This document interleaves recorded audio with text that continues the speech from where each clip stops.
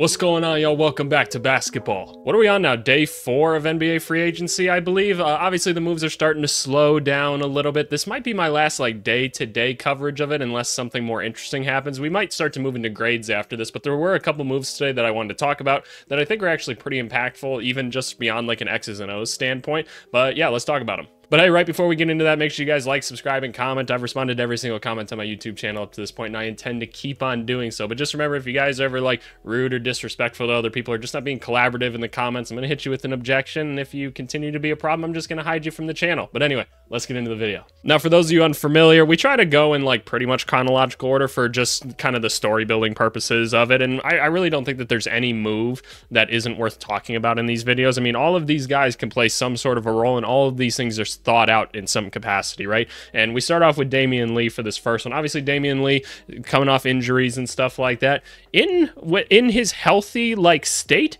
Damion Lee not a bad three and D player at the end of the day. So honestly, you throw him on the Suns makes some sense, right? Uh, obviously, he's got some experience with his teammates and everything already at this point. Um, considering that the Suns only have minimum contracts to give out at the end of the day, Damion Lee makes sense to bring back, presuming that he's healthy, and they would obviously know the state of that. Uh, the Suns have already made a couple like nice moves between Monte Morris and then Mason Plumlee being uh, another one for them. They they drafted Ryan Dunn after moving back and acquiring some more assets and stuff, which I thought that was a really underrated move. So the Suns Suns going in the right direction right now. This is a move that I think is a little bit bigger of a deal than people realize, and that's that Joe Ingles is going to get a one year deal to go to the Minnesota Timberwolves. Now, obviously, Joe Ingles has experience with guys like Rudy Gobert, Mike Conley, stuff like that. We all know him as a three point shooter that can put the ball on the floor a little bit. He loves to be in pick and roll situations, uh, more of a vet at this point, but Joe Ingles is an example of a front office that knows what the hell it's doing right now. So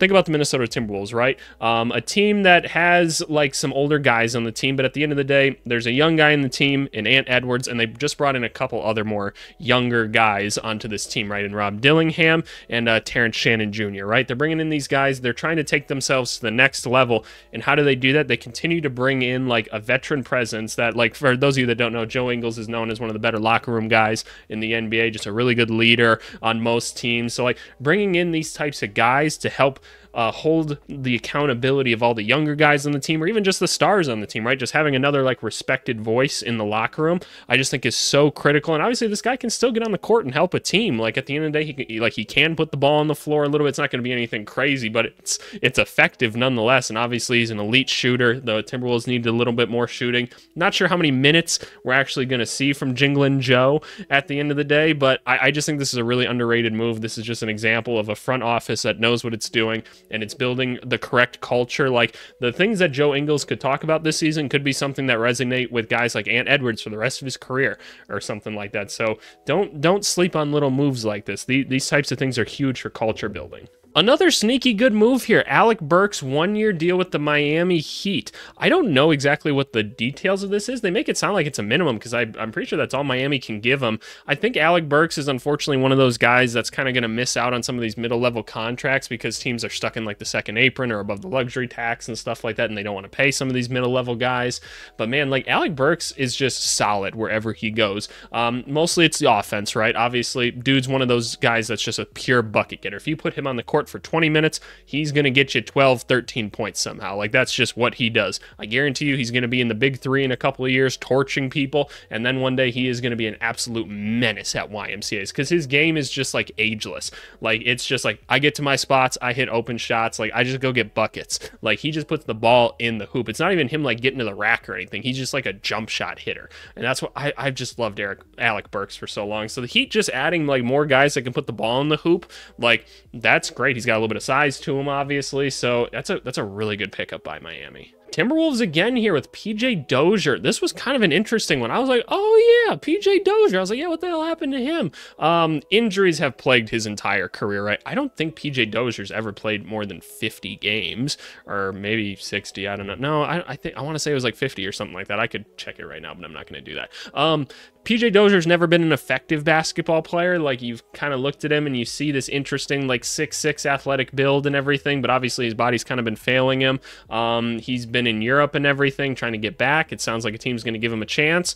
Why why not right? He's a younger body and everything. I mean if he ends up becoming like some sort of a 3 and d type player for them then great right? Then that's awesome. Then it's a wonderful steal from the timberwolves. Um another name that i'm surprised we haven't seen somebody pick up on yet is like mario Hezonja overseas. Y'all remember him an orlando magic pick from back in the day um, honestly, Mario Hezonja, one of those people that because I have people ask me all the time, they're like, "Who's someone where you've done like a draft eval of someone and you like completely muffed it up?" Mario Hezonja, I thought Mario Hezonja was going to be tough. Like I really didn't. honestly, like I still see a lot of the good skills, and we're starting to see it in Europe now, where he's just like torching people most nights. I'm kind of surprised, he, like we haven't seen him make like an NBA comeback yet, but that's that's just me. There's been some interesting like trade rumors around like both Buddy Hield and Lauri Markkanen. I've been kind of seeing both of those things being floated around, floated around today. I don't really want to talk about like rumors like too much. I personally would be kind of surprised if Utah moved Lauri Markkanen. It just doesn't seem like something that they really want to do. I'm sure they're taking the calls and everything. Well, we know they're taking the calls.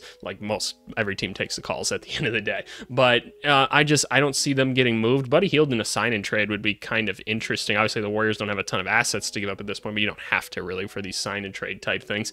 Why did Buddy Hield not work in Philly? Like I can't comprehend that for the life of me. Like they made the trade, didn't seem to really want to play him or anything. Like Buddy Hield's a good basketball player, man. He's a really good basketball player. Uh, throw him in in the Warriors system. You might just get um, Bahamian um, Buddy for this one, man. You, you just might like his man. Like if you just gave him the spacing and everything, you got guys like Curry that are playing around him too and bring a lot of gravity. Like like Buddy Hield will hit his shots, man, moving or just straight up. Like dude can stroke that thing. So like man, I, I would really like to see Buddy Hield end up on this team. I'm just curious to see what type of team the Warriors put together at the end of the day as they kind of try to squeeze whatever they can out of these last couple Curry years. Obviously, LeBron got like his max contract and everything. It doesn't seem like they're going to be able to get anybody else. So LeBron gets a max contract. What else is new?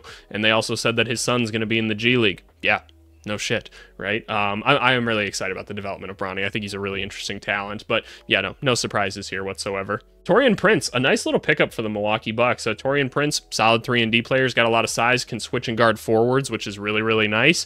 Uh, usually plays with a lot of confidence, which is good for these championship teams. You need guys that are not going to be phased. He's played with a lot of great players up to this point, and he's just going to keep bouncing around from those teams. So shout out Taurean Prince, man. Um, especially because of that time he, he explained to the reporter what a rebound was at the end of the day. Um, that was hilarious to me. I, I wish more people could do that. When I was um when I was in coaching and stuff, we had to go through media training like something stupid and I always would just be like, "Can I just please tell some of these people to just like shut the fuck up in all honesty?" cuz I'm I'm not to lie, I just don't have patience for like media stuff. I just feel like they ask dumb questions a lot of the time.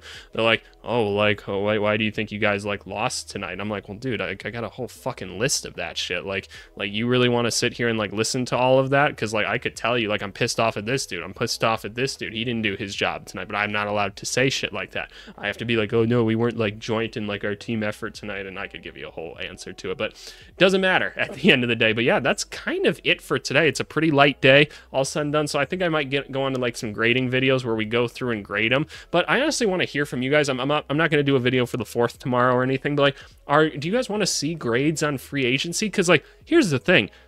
I, I haven't really seen like a bad move yet. Like I haven't seen one where I'm like F, like that's a bad move. I I genuinely think the GMs are doing like a crazy good job this offseason. And that's just because of like the, I, I don't know if that's, this is the reason why, but I, I'm more so just commenting on this. Like the way that free agency is like structured now is really awesome to me. Like I love how this is set up, how there's not just like a bunch of people moving at all times. I know that's maybe more exciting for some people, but this, this brings me back to being like a kid and how free agency worked. And I just think it's better for the game to have people kind of stick around in places just a little bit more. Um, obviously we've had some crazy movements still, like there will be every year, but I don't know. I just, I think this is better. But you guys let me know. Like, do you guys want to see grading videos? Because I feel like it could get a little repetitive and me kind of talking about stuff that I've already talked about. And I don't think there's going to be a lot of like hit and miss things. But please uh, leave me a comment if that's something you do want to see, and I'll happily deliver it to you guys. So thanks as always, you guys, and we'll talk to y'all later.